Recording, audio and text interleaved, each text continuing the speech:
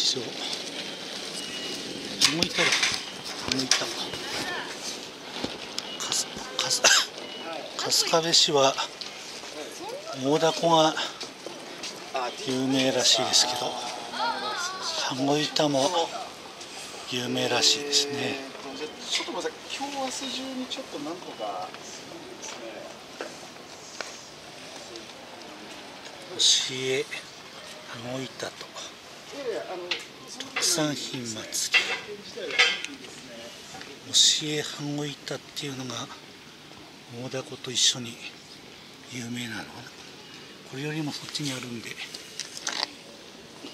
そこに寅さんがあります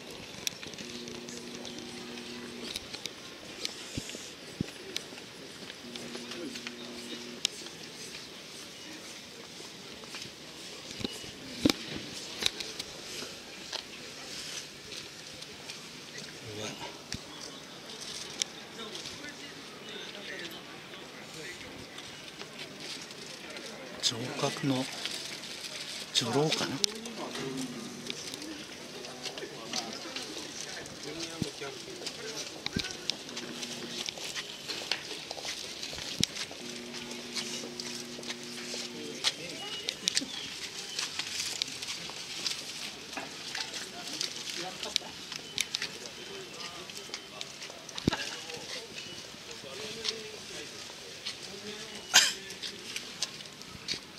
商工会議所特産品協議会で展示してるんですね。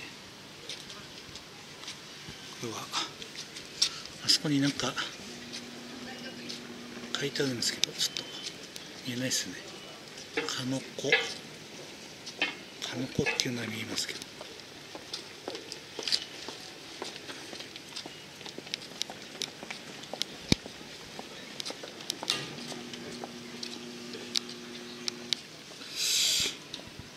この辺はお姫様かなこ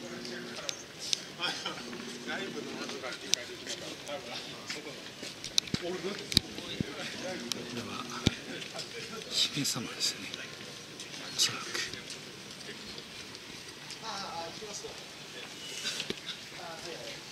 この作りで見てるんですけどね手習い創始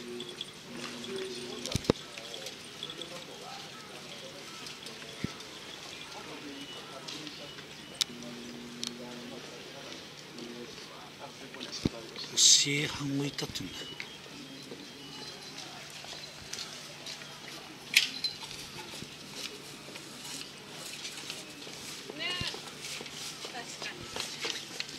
れは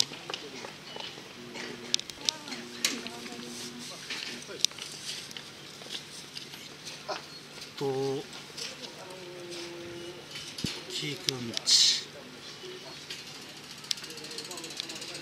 おじろうなおなおやつのなお家っていうの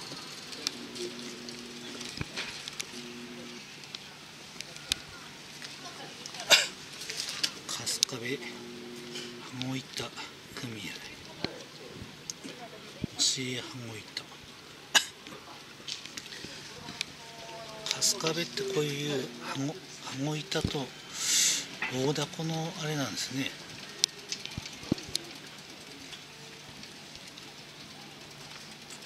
これは歌舞伎ですね。これは誰が見ても分かる。これですよ。これはひょっとこのあれかぶってますね。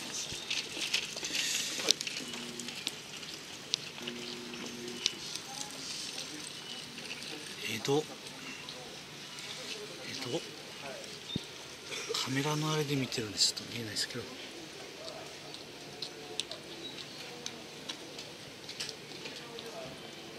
江戸月教えて書いてあるのかな。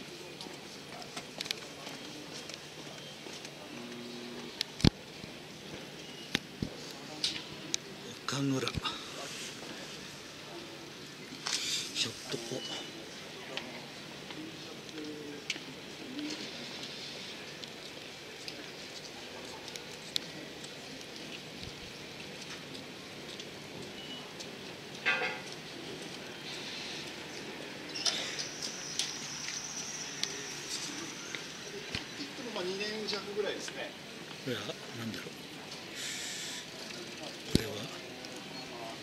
水戸黄門でいうと拡散的なポジションの人かな。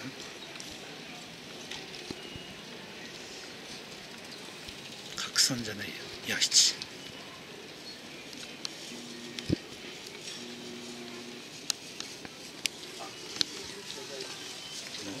職人さんがこうやって作ってるんですねこれね。昔のあれで写真ですけど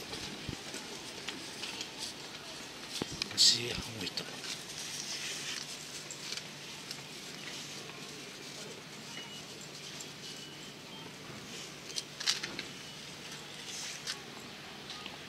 れはかカバンかなこれカモ手提げカモカモっていうかカバンっていうか。こういう昨日あれもなんなんすあもっともそこにあの大塚亀屋さんのビルがあるからこういう木材の加工も得意としてる町かもしれないですよね。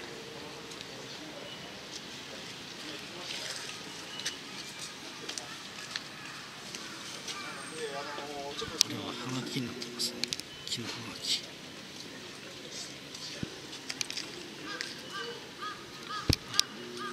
いてある。春日部切り箱工業協同組合切り箱ですよはいこれもなんか切り箱に入入れられそうだな。そろそろ。切り箱に。ああします。よあのアップ前には必ず出来上がったものをですねあの見せるんですよ。それであの機能を全部確認してあのこれであの最終的にあの今日はヤフーなりグーグルなり見れるようにアップしますけどいいですかっていう確認を取ってですねそれからあのアップをするんですね。はい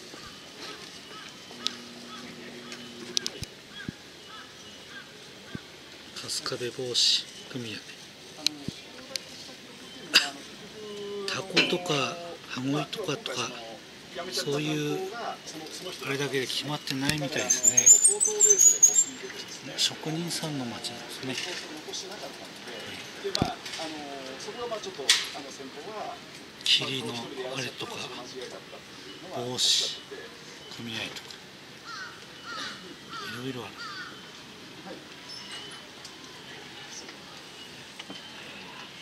帽子。春日部帽子組合。麦わら帽子。麦わらバッグですね。懐かしいな。懐かしいこういうバッグっていうか。昔はおかず買い物行く時はこういうバッグっていうかカゴっていうか使ってましたけどね。お母さんの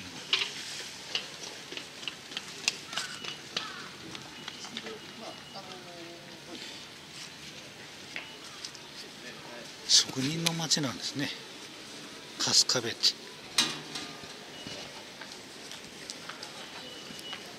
春日部市。物産展示場ですねこれは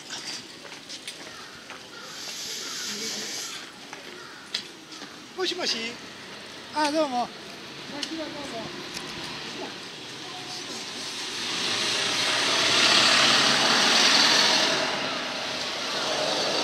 れは春日部駅西口ですねこれは東武鉄道の何線か知らないですけど。あの千葉の野田市とかと同じ線路なんですけど。何線だかよくわかんない。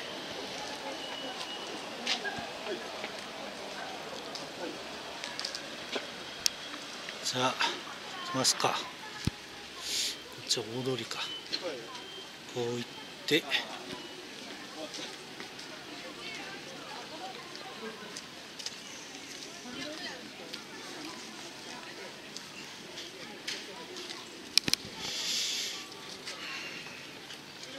東武鉄道。東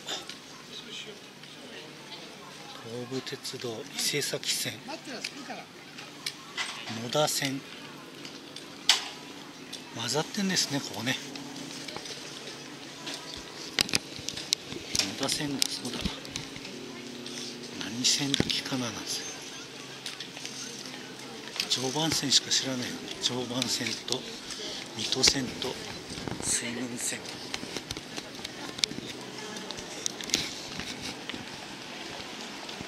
山手線も知ってますけど。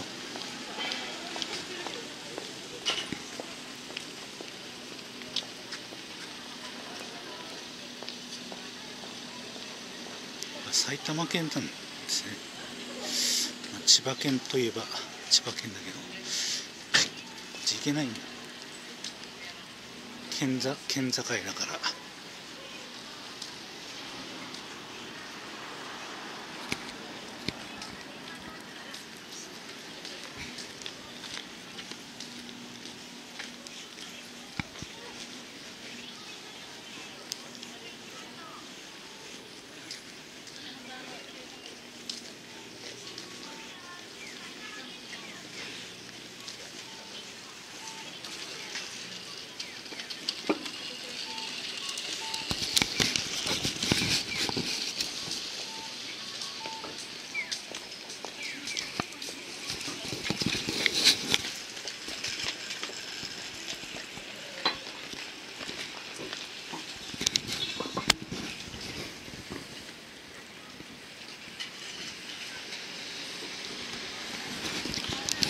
これまっすぐ行くと佐藤洋華堂さんですね。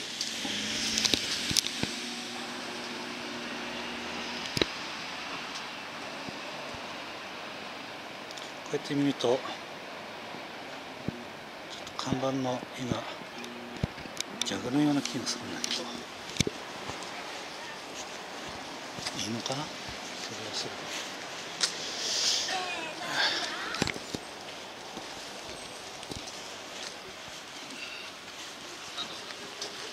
これはさっきのうなぎ屋さんだからその車のとこからこう来たんですよね。ちょっとエッチっぽいエッチっぽい店のとこ。まあカラオケ屋さん。こ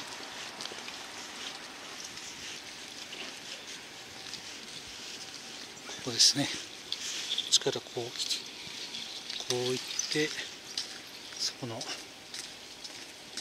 なんだ鳥屋さんだっけ鳥吉商店さんを右に曲がってですねそこね右に曲がって駅のホームに出て右に行って駅ですね.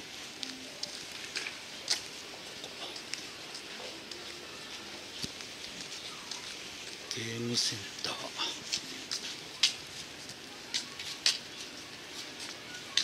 これも。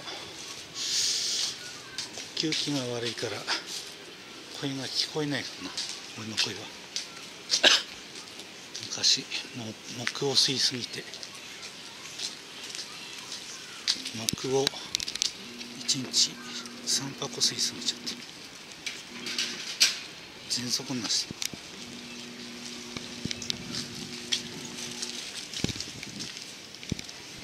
ピッチョリーナピッチョリーナピッチョリーナこ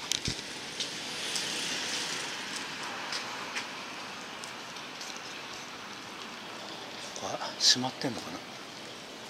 餃餃子あるかな？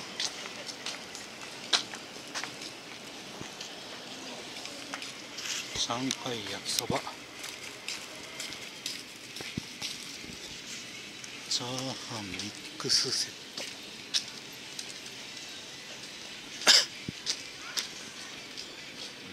のキンチ山内農場。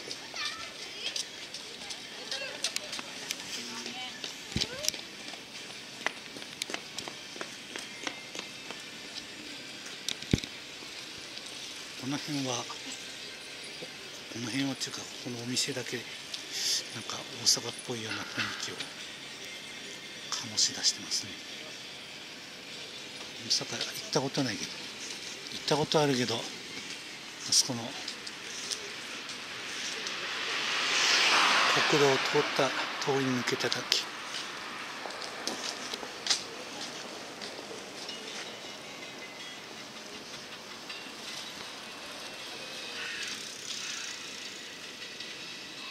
目利きのキン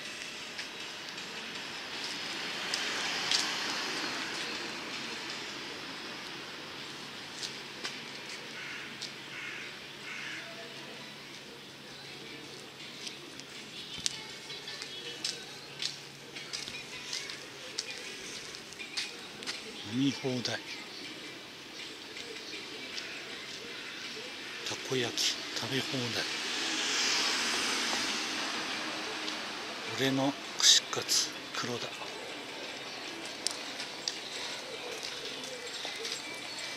麺屋。麺汁屋さんかな？左左。中華食堂って書いてあるかあ麺汁のマークがここに書いてあるからラーメン屋さんだね。じゃあおかずって言ってもまあ今日の弁当とあと餃子買って帰ろうかなと。餃子。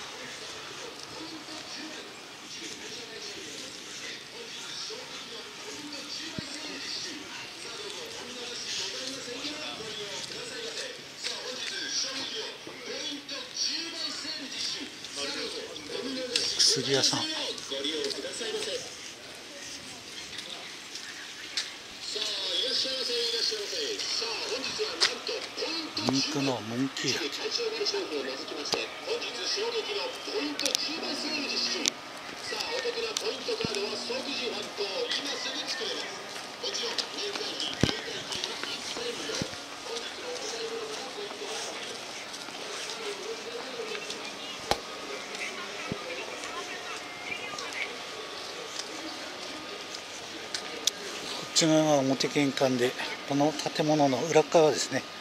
正成号は。だからここから入ってよろします。